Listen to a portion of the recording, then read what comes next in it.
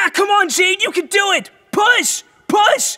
I'm pushing. Ugh, don't pull it so hard. Oh, you're almost there. Just a little bit more, Jane. Just a little bit more. I can see it coming out. Yeah! Ah, the last chips. It's worth the pain. When a sperm and egg join and implant in a uterus, a pregnancy has begun. A human pregnancy lasts approximately 40 weeks from the first day of the pregnant person's last menstrual period. A pregnancy is divided into three segments called trimesters. Each trimester includes some common symptoms and milestones. During the first trimester, from week 1 through week 12, a pregnant person may experience morning sickness. Morning sickness can cause nausea and vomiting. For some, it happens in the morning. But for others, they may feel nauseous all day long.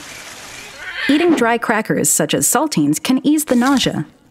Other symptoms of pregnancy during the first trimester include feeling tired, becoming sensitive to certain smells, craving particular foods, experiencing swollen or tender breasts, and needing to urinate or pee more frequently than usual. The second trimester of pregnancy begins in week 13 and runs through week 26. By the beginning of this mm-hmm. trimester, mm-hmm. most fetuses will have grown to about the size of a peach and will weigh approximately one ounce. At this stage of pregnancy, a healthcare professional often can tell the sex of the fetus with some degree of certainty. During this trimester, a pregnant person will gain a noticeable amount of weight. They may also experience nasal congestion, dizzy spells, leg cramps, groin pain, or backaches. Many pregnant people also begin to develop dark patches on the skin of their abdomen or face. These spots usually fade after giving birth. It is during this trimester, usually between the 16th and the 25th week, that a pregnant person may begin to feel movement inside their uterus. By the end of this trimester, the fetus will have grown to about the size of a cantaloupe and will weigh a little more than one pound. The third trimester begins in week 27 and lasts until the person gives birth, which is usually around the 40th week. In this, the last trimester of pregnancy, the fetus grows rapidly, gaining weight and developing each week.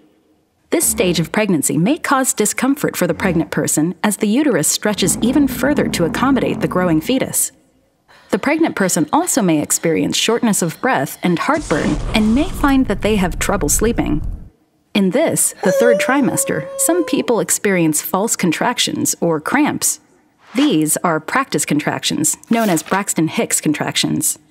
True labor contractions usually begin a few weeks or days before childbirth. They are more regular and more predictable than Braxton Hicks, and they grow closer together and stronger over time. Strong regular contractions are a sign that labor has begun.